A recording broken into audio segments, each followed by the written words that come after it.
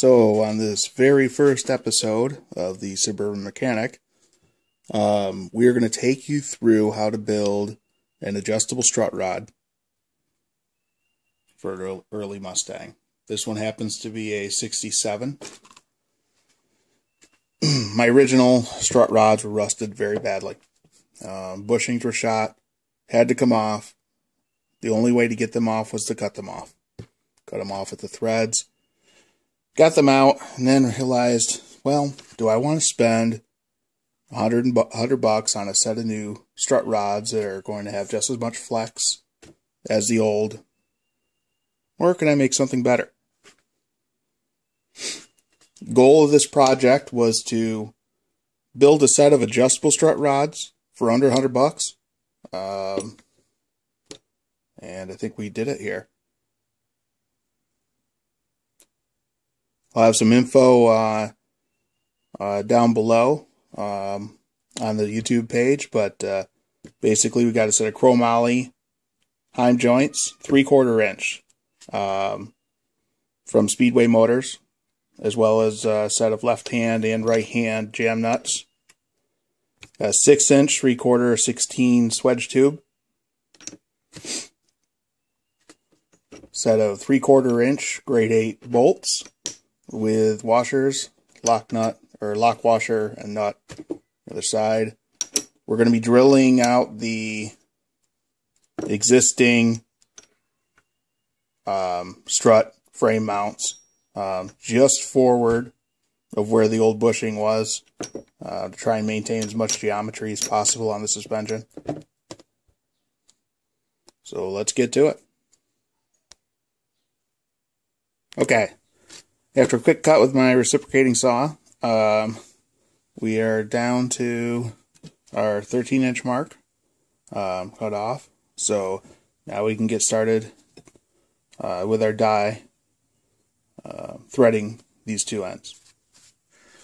Okay, so I've got one of these strut rods now threaded. Um, tip and word of advice. Uh, if you've never threaded anything this large before, um, best tip is go slow, quarter to half turn, back out to release your uh, metal filings. Quarter to half turn, back out. And use a lot of thread cutting oil. So I will thread up the other one and get back to this. Okay, so now we've got both strut rods all painted up through a coat of uh, chassis paint on the strut rods just to make them look a little better than the rusted piles they were.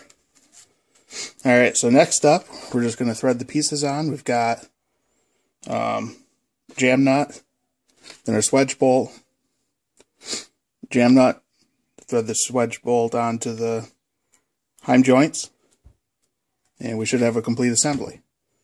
Next up is going to be fitting these up to the suspension, to the lower control arm, and finding out exactly where we're going to drill the holes for our cross bolts.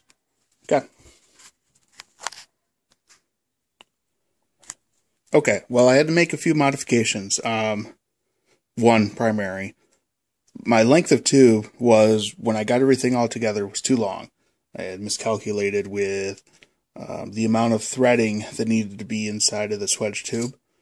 So, no big deal. I had to uh, just cut down my current threads and then rethread an additional one and a half inches of thread onto these.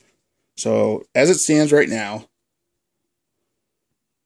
um, the total length of the original strut rod that I have left is at 14 inches. So 14 inches of total length of strut rod. And then I've got one and three quarter inches of threading on the end of it. And that brings us pretty close to the total length um, that we need. The original bushings would have lined up approximately right there. The hole that I have drilled into the um, frame support for the for the bushing right now is approximately where this nut was.